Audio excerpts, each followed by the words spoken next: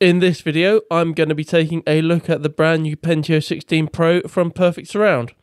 And as the name suggests, this enables you to upmix to a maximum of 16 channels. And in this video, I'm going to be taking some 5.0 surround recordings and upmixing those to third order ambisonics.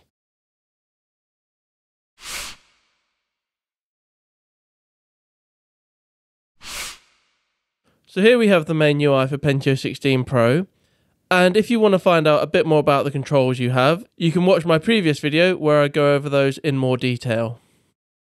Because the original recording is 5.0 and this is a stereo video, what I'm doing is running the original recording through the Facebook 360 workstation. This is in order to put it into an ambisonic sound field, which I'm then encoding to binaural using Ambi Head HD.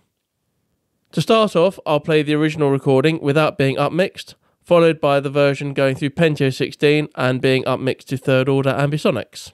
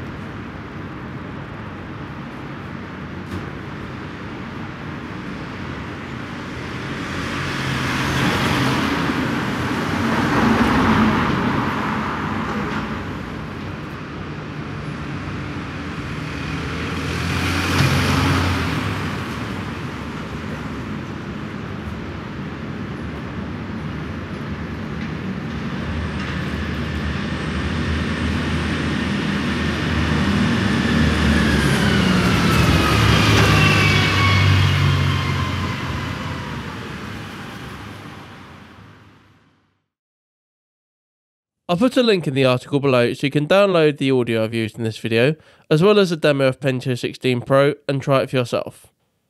This has been Tom Lowe, Production Expert. Thanks for watching.